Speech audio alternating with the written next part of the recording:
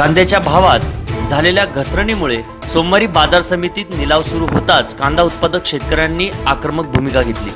लिलाव बंद पाडत सटाणा कृषी उत्पन्न बाजार समितीच्या प्रवेशद्वारासमोर सटाणा मालेगाव रस्त्यावर दोन तास रास्ता रोको आंदोलन छेडण्यात आलं.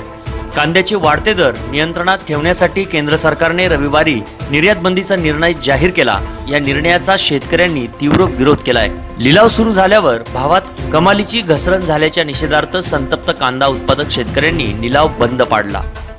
सटाणा मालेगाव रस्त्यावर रास्ता रोको करून लासलगाव येथे जिल्ह्यातील बाजार समितीच्या संचालकांनी दुपारी बैठक होणार असल्याचे आंदोलकांना सांगितले. मात्र या माहितीवर आक्रमक झालेल्या शेतकऱ्यांनी समाधान न झाल्याने दोन तास रास्ता रोको केलाय. त्यामुळे रस्त्याच्या दोन्ही बाजूस वाहनांच्या लांबच लांब रांगा लागल्या होत्या. कांदा चाळीस रुपये गेला तरी शेतकऱ्यांकडे कोण झुकून पाहिलेलं नाही आहे. या वर्षी कुठं तीन हजार पस्तीस रुपये भाव गेला आणि लगेच सरकारने तिकडे निर्यात बंदी करून टाकली या शेतकऱ्याने करायचं काय? दोन रुपये किलोने कांदा शेतकऱ्यांनी विकला तेव्हा सरकार झोपी गेलं होतं का?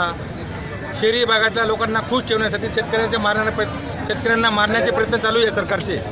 तहसीलदार जितेंद्र इंगळे आमदार दीपिका चव्हाण पोलीस निरीक्षक नंदकुमार गायकवाड व बाजार समितीचे सभापती व्यापारी यांच्यात चर्चा होऊन तीन वाजेपर्यंत कांदा मार्केट सुरू करण्यात येईल असे आश्वासन देण्यात आलं. या आश्वासनावरती आंदोलकांनी आपलं आंदोलन मागे घेतलंय.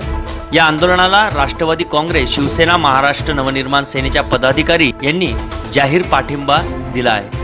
सीएनआय महाराष्ट्र तुषार रौंदळ सटाणा.